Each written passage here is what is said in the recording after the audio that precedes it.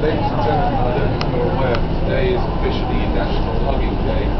This day recommended that you hug at least 16 people. I'm going to help you by getting that down to 15 by offering you a free hug. Obviously, this is fully voluntary. I won't force myself on anyone, especially not you, sir. You Happy National Hugging Day?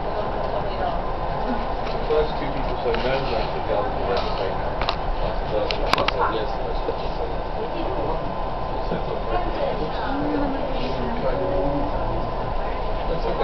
Nothing sexual. It's not a sexual thing.